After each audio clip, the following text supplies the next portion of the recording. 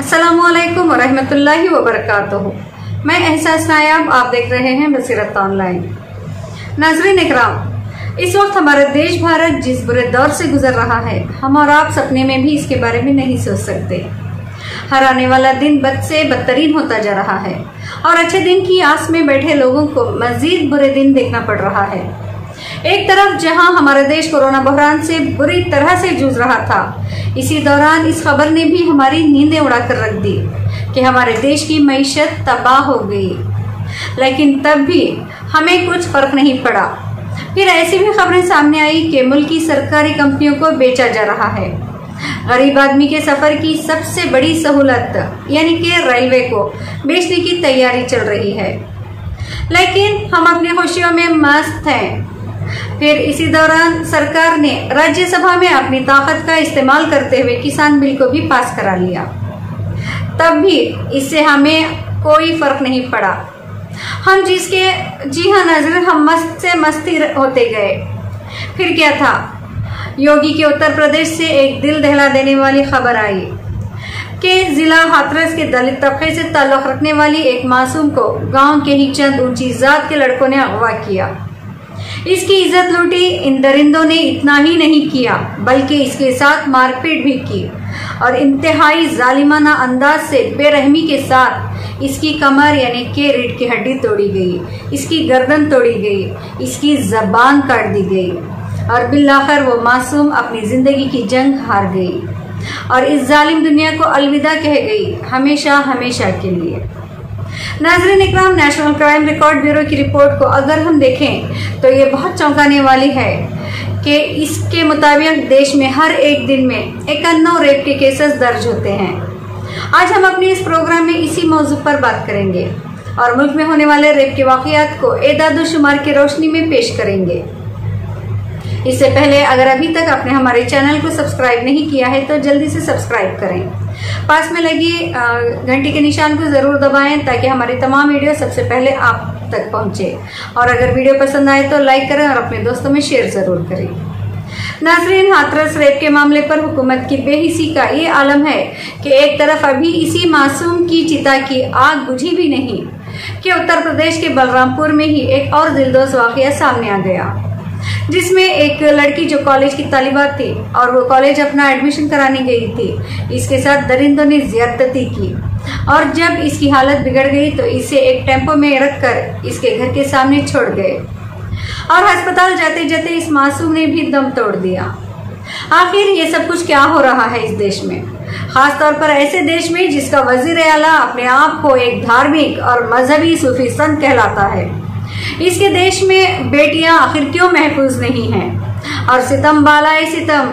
ये कि बजाय जालिम को सजा दी जाती, उल्टा मजलूमों की जबान बंद करने की हर मुमकिन कोशिश की जाती है। और मजलूमों को इंसाफ तो बहुत दूर की बात है, बल्कि मुतासरा के घर वालों को ही डराया, धमकाया जाता है। नाजरीन, हाथरस रेप मामले में हुकूमत ने जिस जालिमाना किरदार का मुजाहरा किया है। इसे ये बात साफ़ तौर पर समझ में आती है कि इस मुल्क में अब गरीब होना किसी लानत से कम नहीं है। गरीबों और दलितों के लिए इस मुल्क में कोई जगह ही नहीं है। आपके, जी हाँ आपने देखा होगा कि लड़की की मौत हो गई, हुकूमत इतनी जालिम हो गई कि इसने अपनी नाकामी को छुपाने के लिए रातों रात लड़की की चिता को आग लगा दी। इतना ही नहीं, बल्कि लड़की के घर वालों तक को आखिरी रसूम में शिरकत की इजाज़त नहीं दी गई। बल्कि इन्हीं इनके घर में नज़र बंद कर दिया गया। मानो वो कोई गुनहगार हो। गाँव के किसी फर्द या किसी रिश्तेदार तक को आखिरी रसूम में शिरकत की इजाज़त नहीं दी गई। अभी भी यह खबर मौसू हो रही है कि पुलिस और इंतजामिया मुस्तकिल घर वालों को धमका रही है। आज कांग्रेस के लीडर राहुल गांधी और प्रियंका गांधी मुतासरा के घर जा रहे थे।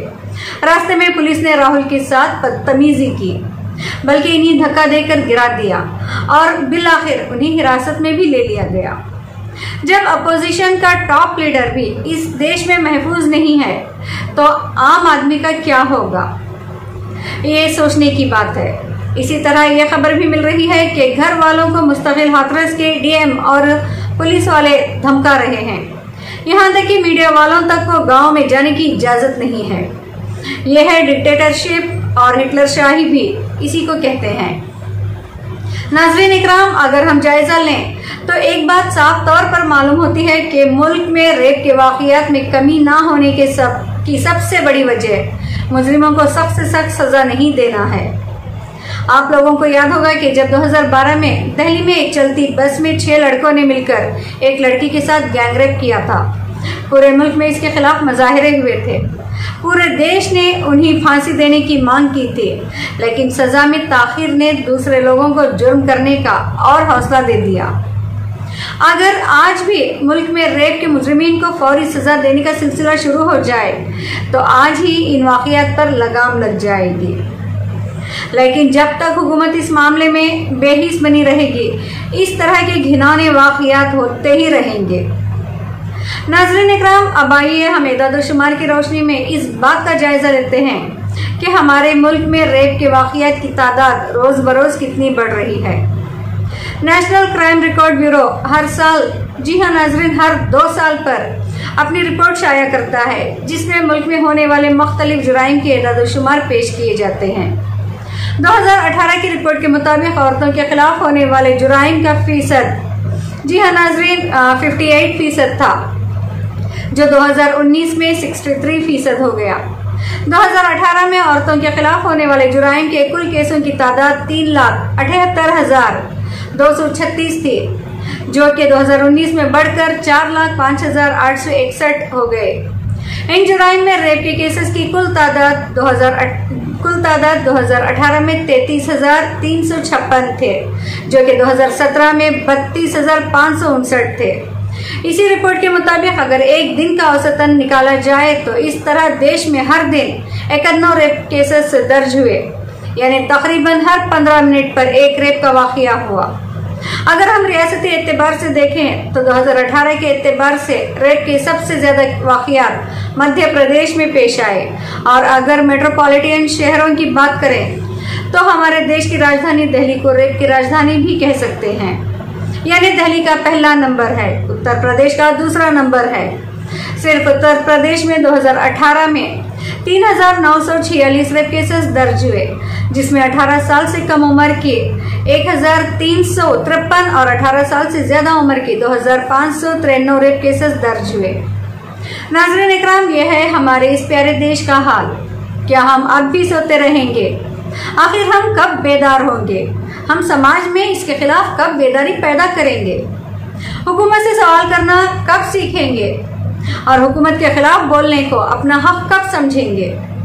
याद रखें कि अगर हमने अभी अपनी जबान बंद की तो हमारे, हमारी आने वाली नस्ल गूँगी और बहरी पैदा होगी। अब फैसला आपके हाथों में है।